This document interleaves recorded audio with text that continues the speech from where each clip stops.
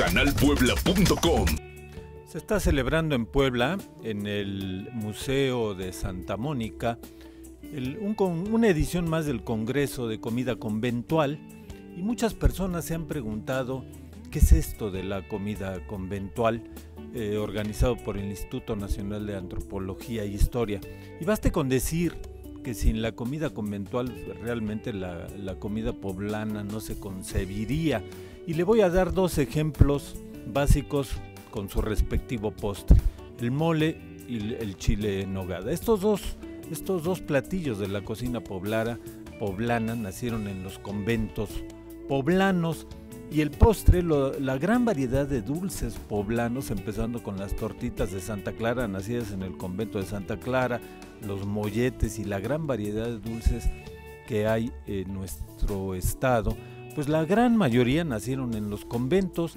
Eh, las monjas que habitaron esta gran cantidad de conventos, se dice que en Puebla llegó a haber 67 conventos en la ciudad de Puebla, pues dedicaban gran parte de su día a la elaboración de platillos, a planear que iban a comer. Hay que señalar que las monjas llegaban a los conventos acompañadas de un séquito que casi siempre eh, tenía una cocinera.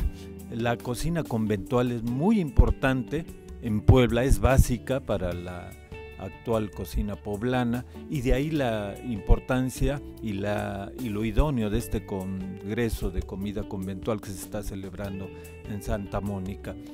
Pero no solo la comida eh, fue una de las actividades de las eh, monjas de los conventos poblanos, muchas otras actividades como el bordado, como el tejido y como la elaboración de ropa no siempre conventual, eh, formó parte de la vida cotidiana de las monjas poblanas. Entonces hay que estar atentos porque no solo el mole y los chiles en nogada fueron producto de la comida conventual, hay una gran cantidad de platillos que valdría la pena rescatar y así de esta manera disfrutarlos.